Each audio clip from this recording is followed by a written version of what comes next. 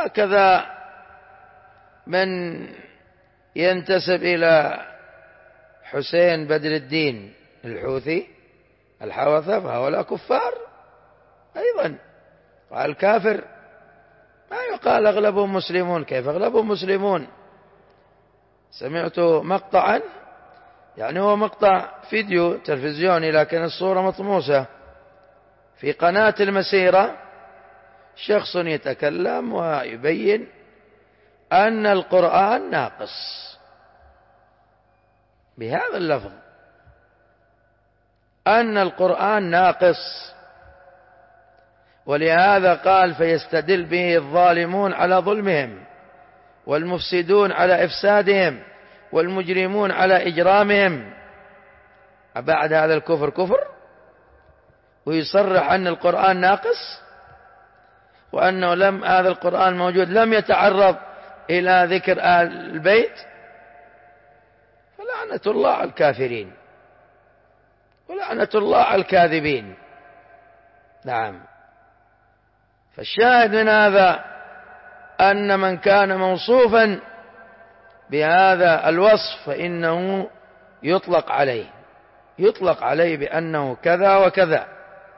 كان كافرا أصليا مشركا أصليا يهوديا نصرانيا مجوسيا منافقا علم نفاقه أو كان مرتدا عن الإسلام بأي أنواع من أنواع الردة الاعتقادية أو القولية أو الفعلية أو الشكية فإنه يحكم عليه بذلك من غير مداهنة من غير مداهنة.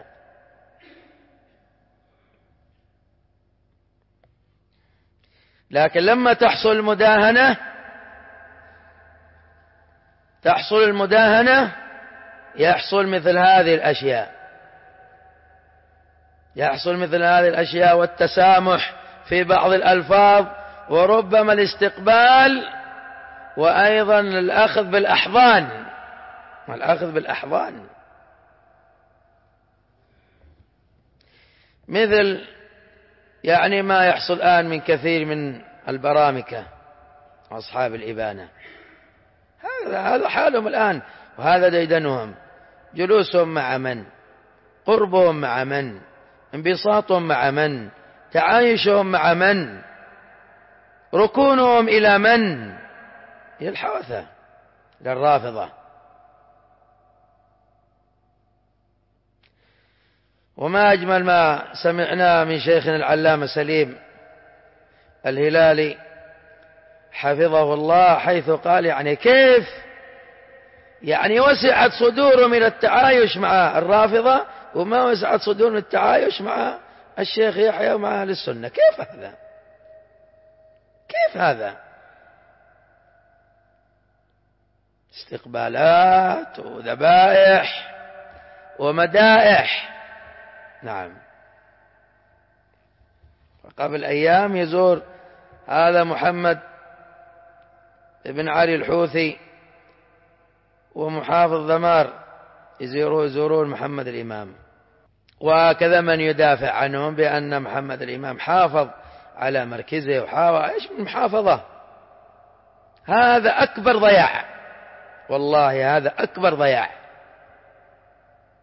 الآن موجود في أوساط طلابهم المداهنة للرافضة الدفاع عن الرافضة مجالسة الرافضة الميل للرافضة قد طلعوا في الشاشات والقنوات مع الرافضة. إيش من محافظة هذه؟ والله لباطن الأرض أحب من ظاهرها على هذا الحال المزري نعم فيأتي بعضهم يلمع ذلك فايش الفائدة من هذا التلميع؟ وأن محمد على مركزه على كثير من المراكز. الآن ما في إلا تقطيع. في الإعلام تلميع ومن تحت تقطيع. وهذا جزاء من يركن إلى الرافضة. فليدركوا أنفسهم وليتوبوا إلى الله عز وجل. الحفاظ على هذه الدعوة بحفاظ الأمر بالمعروف والنهي عن المنكر وحفاظ الدعوة إلى التوحيد والعقيدة الصحيحة لا بالمجاملات والمحاباة. ويتكلم الشخص بكلمات يعني على حذر بعمومات وإجمالات. نعم. محمد الإمام من أمس يقولون ولاة أمر وأنهم مسلمون وأنهم وأنهم وأنهم لما صار بدأوا يأخذون على المساجد يقول في خطبة الجمعة اللهم احكم بيننا وبين من يأخذ مساجدنا. صباح الخير. نعم. وأنا أقول لأهل البدع السلام عليكم. فالشاهد هذا عاده صح صح. قد أخذوا عقائدكم وأخذوا دينكم. وصرتم متميعين مع هذا الفكر البطال الخبيث وتكتبون ما تشيدون به يعني بأتباع بيت النبوة. والسلام ورحمة الشاهد لا بد من دراسة التوحيد والعقيدة الصحيحة. أي دعوة ما تقوم على هذا؟ دعوة فاشلة. دعوة باطلة دعوة زائلة لا ثبات لها. ألم تر كيف ضرب الله؟ مثلا كلمة طيبة كشجرة طيبة أصلها ثابت وفرعها في السماء. تؤتي أكلها كل حين بإذن ربها. ويضرب الله الأمثال للناس لعلهم يتذكرون. لا إكراه في الدين قد تبين الرشد من الغي فمن يكفر بالطاغوت؟ ويؤمن بالله فقد استمسك بالعروة الوثقى لا انفصام لها والله سميع عليم. هذه العروة الوثقى تحقيق التوحيد. أما يأتي الحوثي يضربون له السلام والتحية. وما يجد منهم إلا الإكرام والحفاوة. والجانب الآخر يشدخون في أهل الحق وفي أهل السنة. بغير حجة وبغير دليل وبغير برهان بالكذب والزور والبهتان. فيأتي هذا ويقول يعني ألسنتكم سلم منها اليهود والنصارى والكفار. كذبتم وربي. كذبتم وربي. خطب أهل السنة. محاضرات أهل السنة. دروس أهل السنة كتب أهل السنة عامرة بالتحذير من الكفار ومن اليهود والنصارى وسائر الملل الكفرية. جاءت المنظمات من قام في وجه أهل السنة؟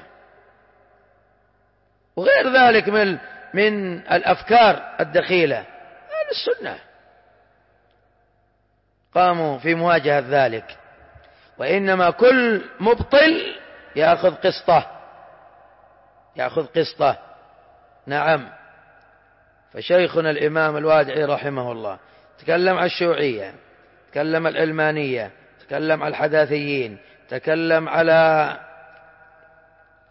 الناصرية الإسماعيلية الباطنية الرافضة الشيعة.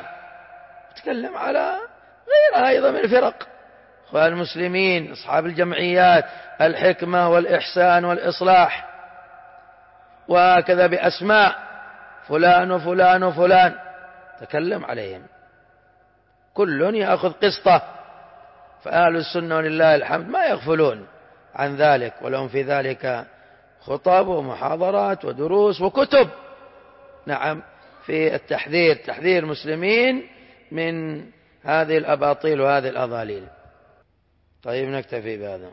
سبحانك وبحمدك لا إله إلا أنت استغفرك وأتوب إليك.